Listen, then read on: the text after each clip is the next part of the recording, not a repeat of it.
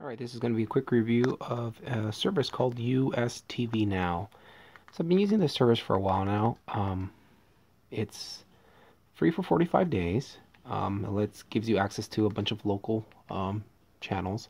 None of them, I am based in California, so none of them are actually uh, the Los Angeles ones that I'm accustomed to watching. Um, but they do have some local channels here. And if you pay $20 a month for the first, I believe it's two or three months, um, and then after that, it's uh, $30 um, for every month after. Uh, you get this selection of uh, channels. So let's count them 1, 2, 3, 4, 5, 6, 7, 8, 9, 10, 11, 12, 13, 14, 15, 16, 17, 18, 19, 20, 21, 22, 23, 24, 25, 26, 28, 30, 30, so I counted 30, but I see some of the, these are repeated, so I'm just going to say 28. So 28 channels um, for 20 bucks a month. Uh, 30 if you choose to um, stick with them for longer than three months.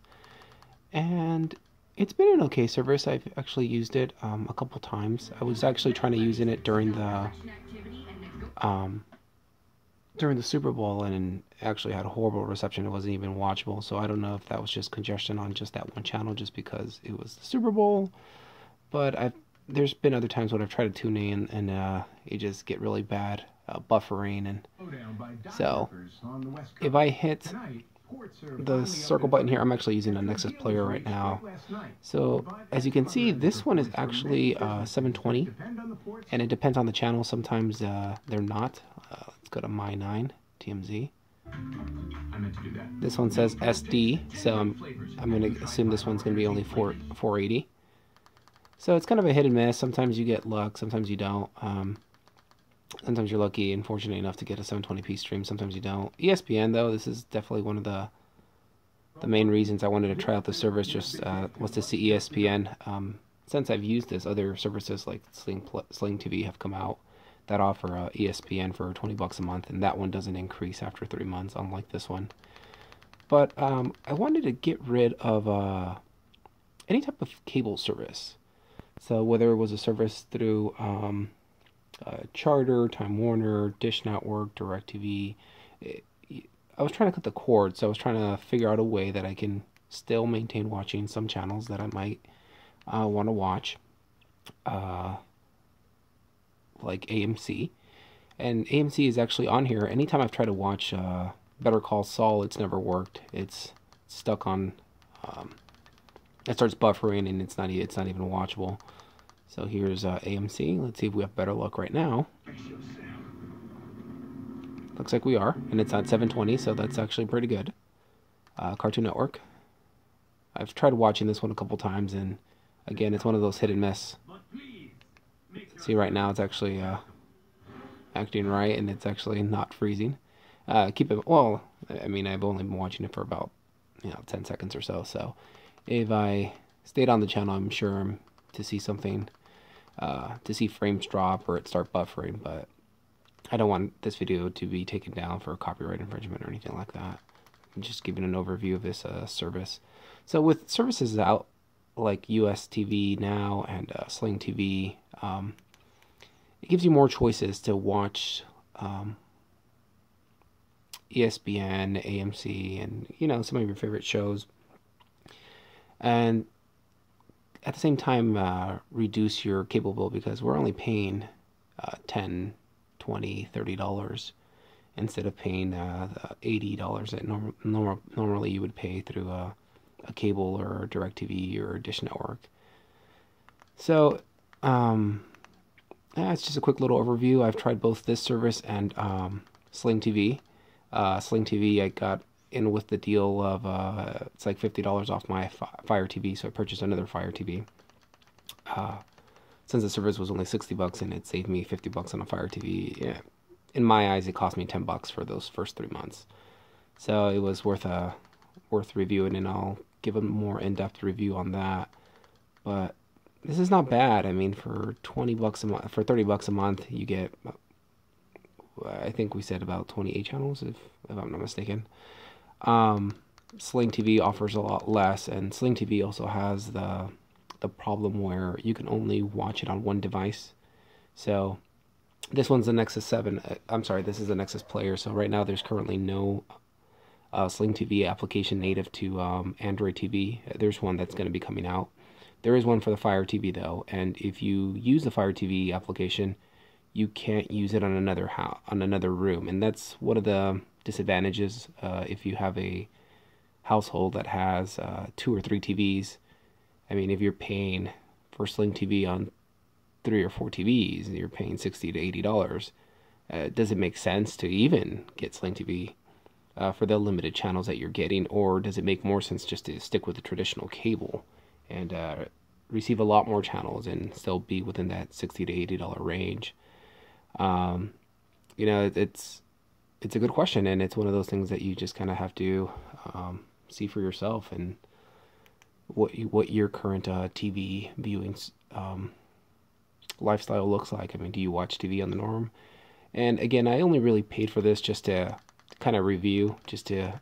But then I, I have tried watching it uh, during uh, again during Better Call Saul, which is a um, a top uh, TV show right now, and I wanted to see how well it would do. And, and like I mentioned before, just cracked under pressure. Uh, the service just couldn't wasn't reliable at all. It just kept buffering and uh, freezing and there's been a couple times where I lost signal completely, and it was uh, it was unwatchable. So, um, AMC is not on the Sling TV yet. Um, it's a channel that should be coming out soon. So, when that channel comes out, I'll try uh, watching Better Call Saul on that on the Sling TV service and see if that's any better. But right now, uh, for someone who just wants to use a Nexus player or a Fire TV or another type of Android device and, and watch live TV, uh, there really is only three choices. Uh, one of them is to watch US uh, TV Now. Uh, another way is to pay for Sling TV. So you can use US TV Now, which is 30 bucks a month. Uh, $20 a month for Sling TV with less channels and that's another way that you can watch it. Of course, you can pay for traditional cable, and then you can uh, use other services like IPTV uh, services. Those are private servers that you pay whatever the amount is that they're offer they're asking you, and you get uh, and it's I guess depends from service to service what channels you would be receiving. Some of them are channels from Europe, some of them are channels from Mexico, some of them are channels from South America, Brazil. Um, you know, all sorts of different locations, and uh, each one offers different packages. So those are the only three ways that I can think of right now that you can watch live TV on an XBMC Kodi um, uh, setup. Uh, they have some other plugins like Phoenix. I know offers a couple of of channels, but never are they reliable. They always crash. They're always full. It's it's a hit and miss. Um, these services just kind of aren't mature yet. So, as far as someone who want, is thinking about purchasing a US TV Now service, the only thing, the only reason I would even recommend purchasing a service is if multiple people purchased it. Like if you, or if, I'm sorry, not multiple people purchased it. If you wanted it for multiple TVs. So, let's say you wanted to watch this on a for a household that had four Fire TVs, and that's all they had, right? They only had Fire TVs, maybe an over-the-air antenna for local channels, and uh, you wanted everything just to be inside the the world of XBMC slash Kodi, then then it would kind of make sense, you know, get the US TV Now uh, add-on, pay for the account, put the account on all four TVs, and then everybody can watch uh, their shows individually. And I don't know how US TV Now checks it, but I was able to run four streams without them giving me any type of uh, hassle about multiple strings streams, kind of the stuff that you run into with uh, uh, Netflix or with like Hulu Plus. Uh, Netflix, I believe it's two concurrent streams if you're paying for the basic one, and then you can pay for additional ones if you want. But uh, the the basic package only offers two. Uh, same thing with uh, Hulu Plus. Uh, they only um, allow two concurrent streams before they give you the warning message. And for US TV now, again, there is none of those messages. I did try that for the Sling TV and you kind of have the same kind of issues there as you can only watch one stream. That one's more restrictive because the other services can give you two, like Netflix and Hulu. But now uh, Sling TV was definitely only one one stream. So uh, that just concludes my quick little review on this uh, service called US TV Now. Do I recommend it? Only if you have multiple US TVs, or or maybe if you had a brother who also had a Fire TV and you just wanted to split the bill, something like that, then maybe it would make sense. Uh, for everything else, I just I don't recommend purchasing, especially since it's thirty dollars. It's in the higher end. I think you're probably better off with a with a Sling TV service, or maybe just putting it over the air antenna and connecting that to the TV. All right. Well, thank you. Thanks for watching.